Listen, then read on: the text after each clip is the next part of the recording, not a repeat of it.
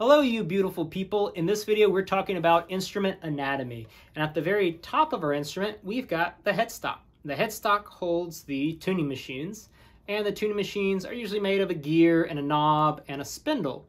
So if your strings are out of tune, you're going to refer to the tuning machines to adjust the tension of your strings. As you go further down the instrument, you'll get to the neck, the part you're holding in your offhand, and on top of the neck, this other piece of wood here is called a fretboard. Now the fretboard houses the little metal bars we call frets. And it can sometimes extend down further down over the body of the instrument to increase the range. And uh, at the very top of it, we've got a piece called the nut. The nut just holds the strings in the right place. Now it looks like a larger fret on this instrument because it's made out of a larger piece of fret wire, but it could be made out of bone or plastic or wood on other instruments. Between some of the frets, you've got these little abalone circles, these dots. They're inlaid into the fretboard. We just call them inlay.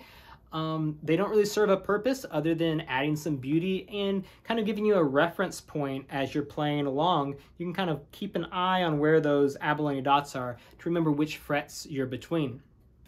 Lastly, we've got the body. The body is the hollow chamber here at the end of the instrument.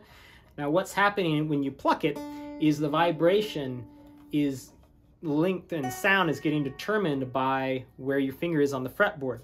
That vibration goes into the bridge here, which is this piece of wood holding it off the um, the strings off the, the face of the instrument, but it's also carrying that vibration down into the body. Now that uh, vibration is going to echo and then come out of the sound hole, which is that hole on the top there. This sound hole has a little extra wood in the middle of it to reinforce it. This is our sound hole insert.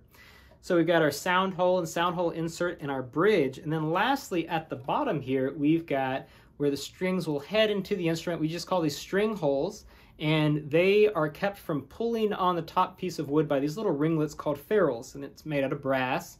So when you're changing a string, keep track of those ferrules because they're not attached by anything. They're just held down by tension. If you flip your instrument around, you'll see where the strings go through the back and they're held in place by the little balls on the end of the strings. These strings are called ball-end strings. They're really common for guitars. And uh, they're called ball-end strings just because they have those little balls.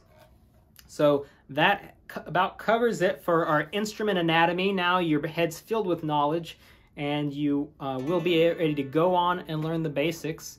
So go out and play some music.